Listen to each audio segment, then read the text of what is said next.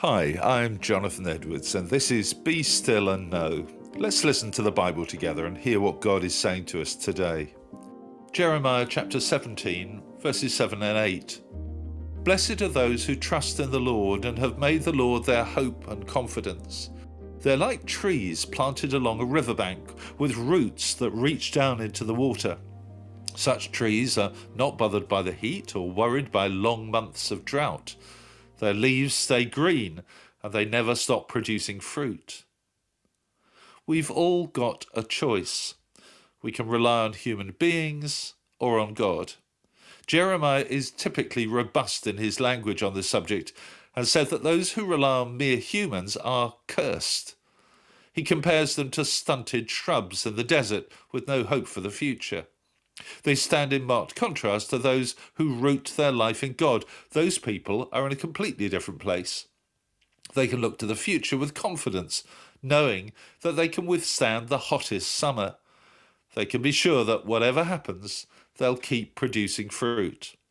Of course, we all want to think that we're like trees planted along a riverbank. Who wouldn't? We all want to believe that we'll be able to withstand the biggest pressures of life and keep being fruitful. However, being able to do so depends on living a life that is deliberately and continually open to God.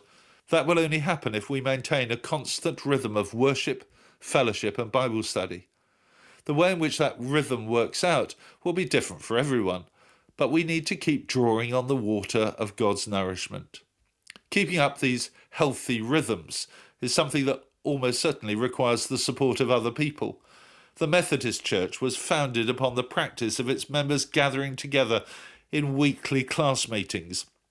In these meetings, the members of the group would ask one another, How is it with your soul? or How is your life in God? It was a way of ensuring that members received regular encouragement and support as they lived for God. It's good for all of us to have at least one other person with whom we can be completely honest about our Christian lives. With their support, we can make sure that our roots are always receiving fresh water. Let me pray with you.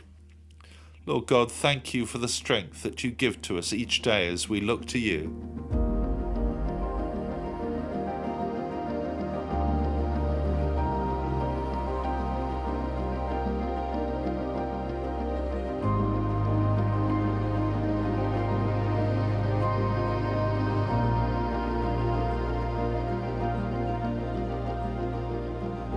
Amen.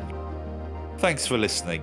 I encouraged you to join me every day for Be Still and Know. You can also hear me on podcast at any time. And if you'd like to receive a free copy of our magazine, Voice of Hope, which contains all of these devotionals and much else besides, please visit premier.org.uk forward slash Voice of Hope. God bless you. I do hope you have a great day.